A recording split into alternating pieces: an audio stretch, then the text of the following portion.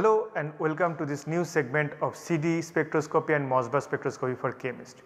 So far we are discussing symmetry and we have discussed the mathematical version of symmetry where we looked into the different symmetry elements and out of them 5 of them come out to be very important. They are identity operator E, rotation around an axis Cn, reflection through a plane sigma, improper acceleration Sn and reflection through a point center of inversion I. So, let me jot down those points. So, the different symmetry elements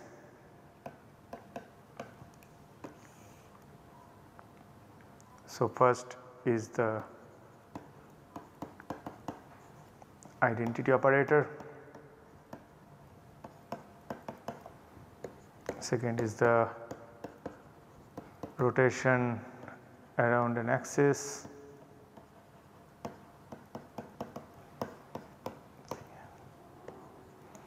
third is reflection through a plane which we call them sigma and we have discussed that its relation with respect to the Cn or proper axis of rotation or rotational axis.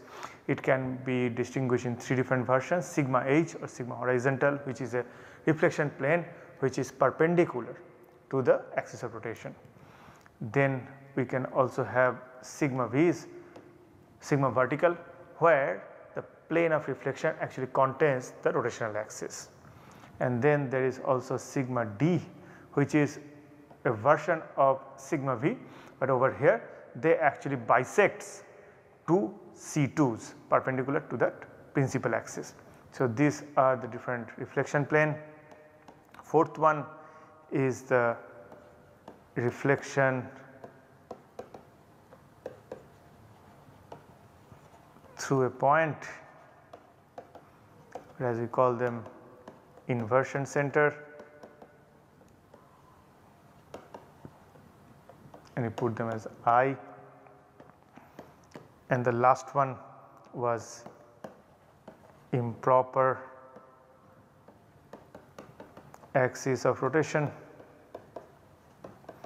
where we do two different operation consecutively. First there is a rotation around an axis and secondly a reflection through a plane perpendicular to that Cn we have just done. So, it is basically nothing but a sigma h. So, over here we are doing two operations together Cn followed by sigma h. So, this is nothing but Sn axis. So, these are the 5 different components of symmetry elements we have found and have also found that these 5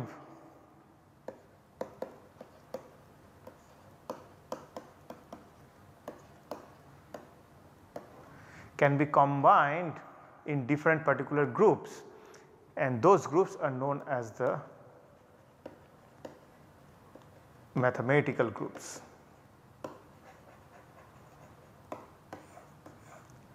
And these mathematical groups that we have found can be divided in 4 broad areas.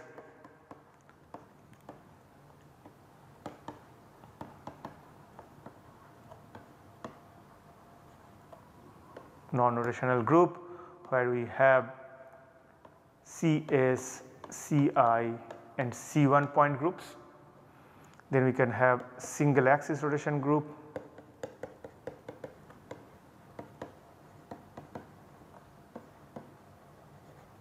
where we have Cn, CNH, CNV, S2N and C infinite V point group. C infinite V point group comes for a linear molecule. Then comes the dihedral group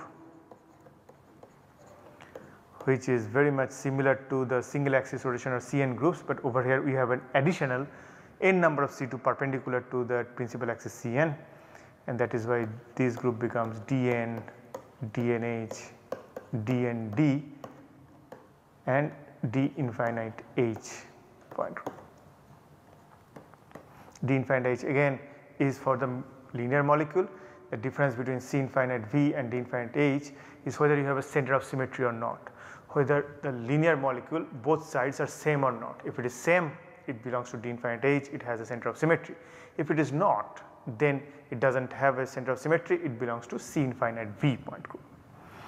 And the last one is the cubic group which are very highly symmetric point group and we have two of them tetrahedral and octahedral which contain 24 and 48 symmetry elements respectively.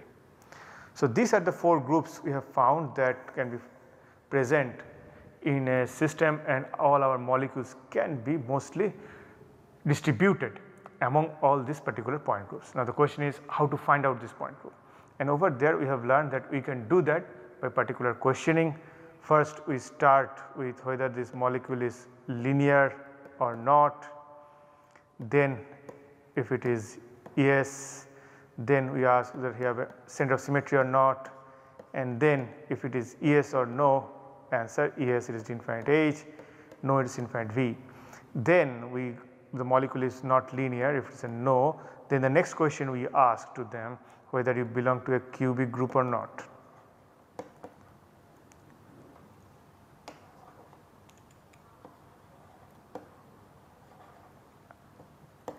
And if the answer is yes then you usually find out whether it is a tetrahedral or octahedral geometry.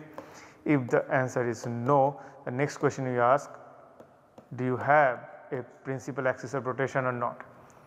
If the answer is no then the next question you ask do you have a center of symmetry I.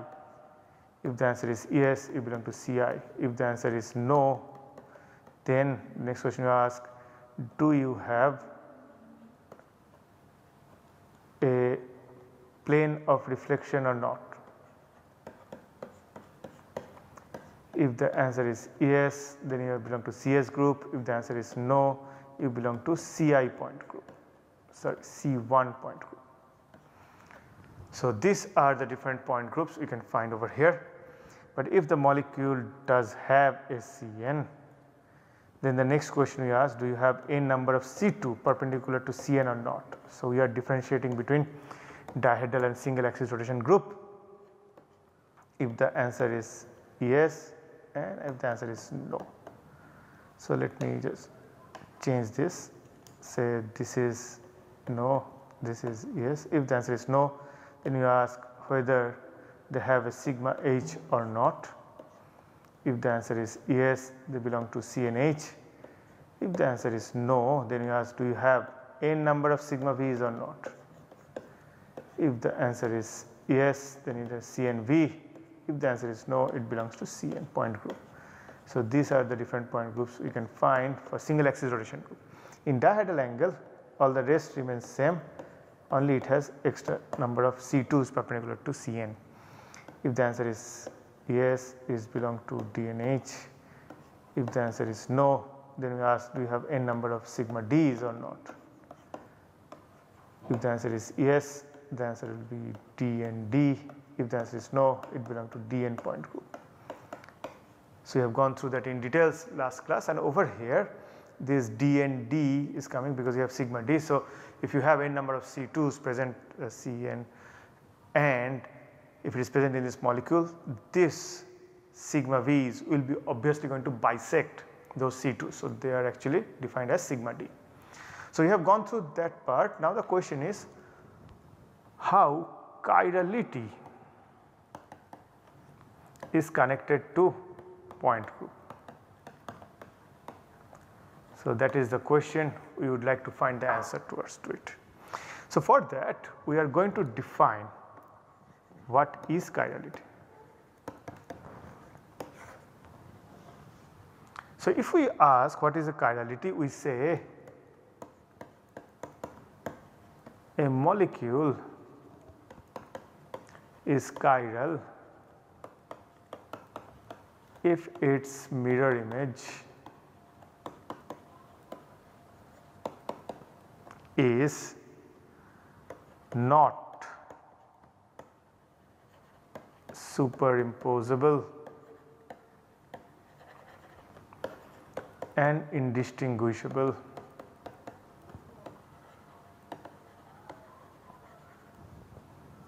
with the original molecule.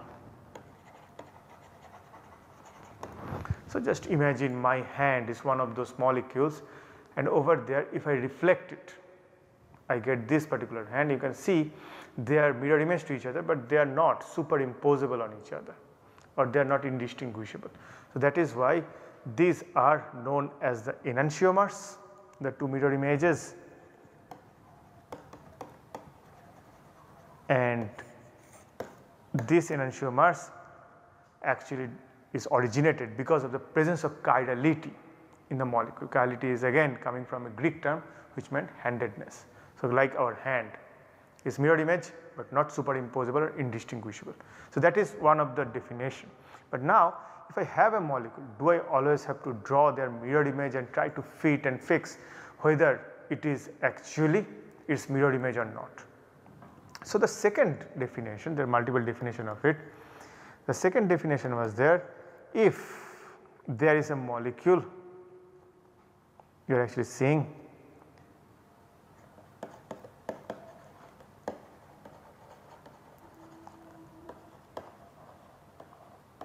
does not have a plane of reflection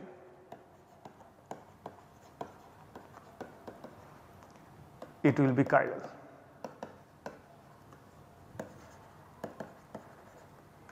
Again it does not have, so let me just properly.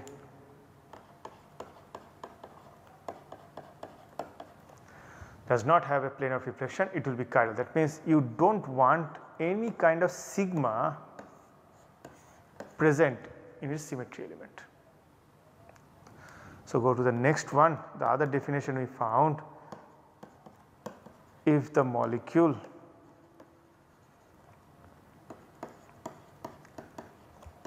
does not have a center of symmetry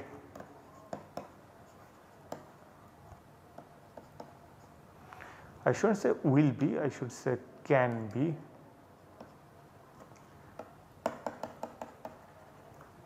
It can be chiral. So, no center of symmetry or center of inversion should be present.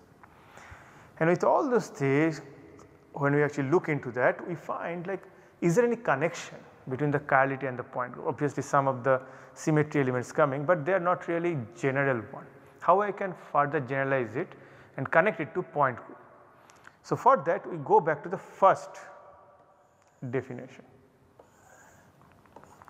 First what we do we take a molecule say it is A, we take its mirror image and try to find what is the mirror image and this particular mirror image we try to find whether they are superimposable and indistinguishable. Now how we do this thing? So what first we are doing? We are taking a reflection of the molecule. So basically in our term we are doing a sigma operation and then whatever this reflection we got we try to move it around so that it can go and match with the original position. So, basically after this we are rotating in all different orientation, orientation possible. So, basically we are doing a CN operation because that is what we do reflection is already done now we are just rotating it in all different orientations possible try to fit with the original system. That means we are doing a sigma we are doing a CN and because this sigma plane what we are actually doing this operation it does not have to be present in the molecule at this point we are just doing the operation. That is why we can say this sigma can be any place and the mirror image we are going to take is going to be the same. A molecule is going to have a mirror image of it, it can be similar depending on wherever I put the sigma plane is. So, with respect to that we find that we are doing a sigma operation and Cn operation next to each other. So basically we are doing a Sn operation or improper axis of rotation.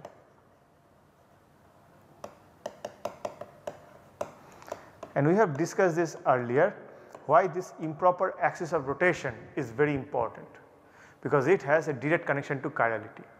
So now if I am able to do the deflection, do the rotation and find that this molecule can be indistinguishable and superimposable that means this molecule is going to have an SN axis.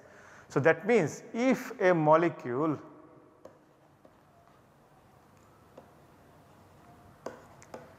has a SN axis then this molecule cannot be chiral.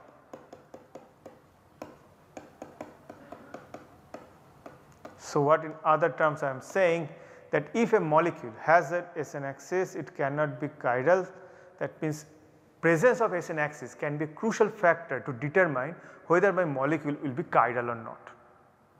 And there are some corollaries to this factor. We have already discussed that S1 where n equal to 1 is nothing but C1 into sigma. So, this is equivalent to a sigma plane and that is the corollary we are finding in number 2. That means if you have a sigma plane of reflection that means you have a S1 it cannot be chiral. So, that is what is actually happening there. So, if you do not have a sigma there is a possibility that molecule can be chiral. Then the next one we have also defined if a S2 is equivalent to center of symmetry. So, this is also getting connected over here. If you have a S2 it means it is saying that you have a molecule which is belonging to a S2 you have a C2 and sigma you do this operation you find an another molecule which is exactly superimposable and indistinguishable to the original structure. And from there we say yes if a molecule have a center of symmetry it cannot be chiral. So, a molecule cannot be chiral where it has S1, S2 or any other Sn axis of rotation. So, that is where we are actually getting into. So, I am again trying to make it much general a molecule cannot be chiral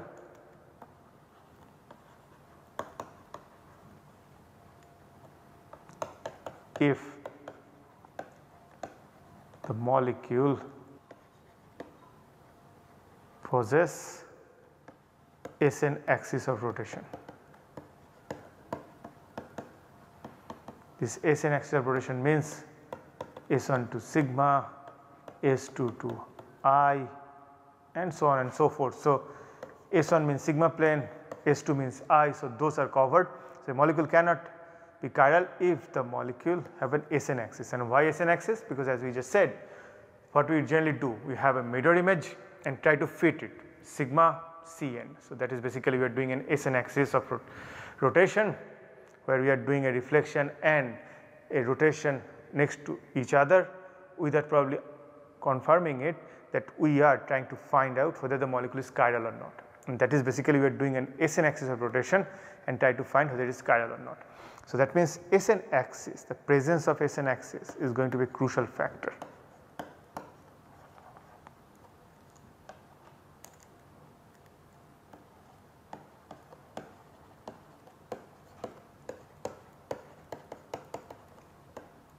Is a key factor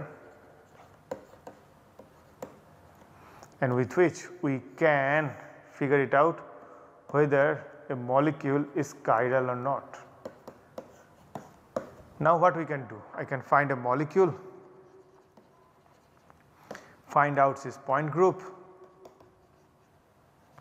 and find out in that particular point group do you have an SN or not and the SN we can have Sn where n is greater than 3 if S1 that becomes actually sigma if S2 that becomes actually center of symmetry. So, this is what we actually try to find out. Now, the thing is that do I really need to go through all the point groups and try to find out where do I have an SN axis or not. And if we look all the point groups that is possible in the system only two point groups actually going to give you a system where there is no SN axis present and those are Cn and DN point group. And over here one of the extension of C1 is basically C1 where the molecule are totally asymmetric does not have any symmetry element present other than identity operator that is C1 where n equal to 1. So, if you have a Cn or Dn point group molecule you can say that means that does not have any Sn axis of rotation where n equal to 1, 2 or 3 or greater than that and that means this molecule will be chiral in nature. So, only Cn and Dn point group molecules can be chiral and again C1 is a special case of Cn. So, with that aspect in mind, so what we generally do to do take a molecule again find out the point group